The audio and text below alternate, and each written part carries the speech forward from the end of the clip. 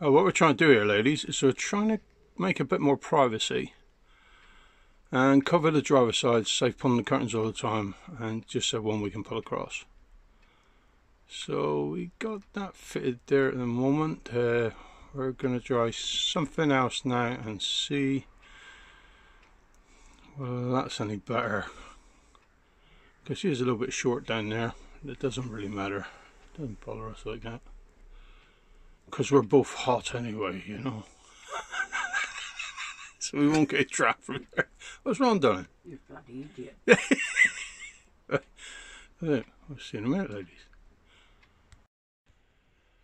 Right, ladies, this is the second one, and I'm thinking this is better. I think the material is is better. It'd be warmer. Uh, it looks better. 100% better, actually.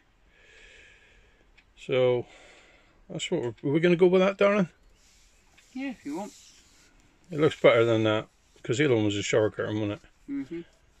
But, uh, yeah, so there you are. I'm thinking this is what it's going to be. So we don't have to pull the curtains around in the cab all the time. We just want to pull that across in the summer. Or the winter actually. And it will probably keep it a little bit warmer than what that shower curtain would. So there you go.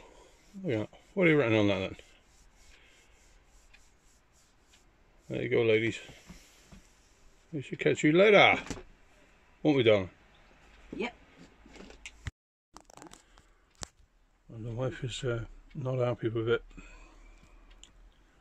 She's just checking it out now, using her great skills and talent.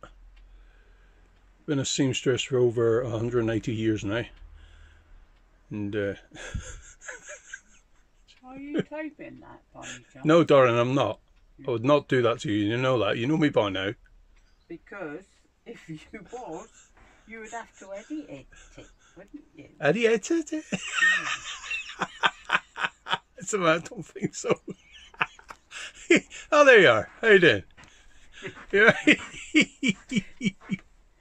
Okay. Because off camera, this is what I was going to do to you. Okay then. Fair enough.